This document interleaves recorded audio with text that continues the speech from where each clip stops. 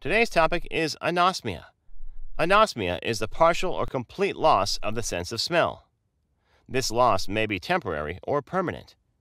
Common conditions that irritate the nose's lining, such as allergies or a cold, can lead to temporary anosmia.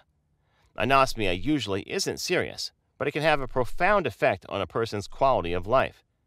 People with anosmia may not be able to fully taste foods and may lose interest in eating. This can lead to weight loss or malnutrition. Anosmia can also lead to depression because it may impair one's ability to smell or taste pleasurable foods. Symptoms The obvious sign of anosmia is a loss of smell. Some people with anosmia notice a change in the way things smell. For example, familiar things begin to lack odor. Causes Nasal congestion from a cold, allergy, sinus infection, or poor air quality is the most common cause of anosmia.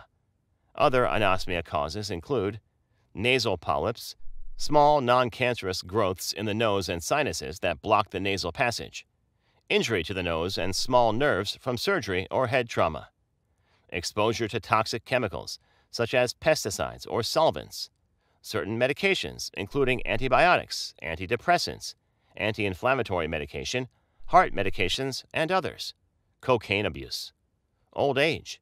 Like vision and hearing, your sense of smell can become weaker as you age.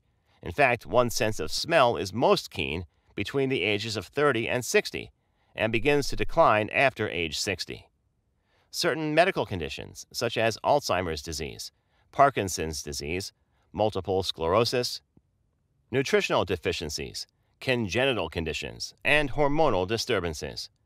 Radiation treatment of head and neck cancers. Treatment Treatments that may help resolve anosmia caused by nasal irritation include decongestants, antihistamines, steroid nasal sprays, antibiotics for bacterial infections, reducing exposure to nasal irritants and allergens, cessation of smoking. Thank you for watching our video. Please do not forget to like and share the video. Also, please subscribe to the channel to stay updated on our latest videos.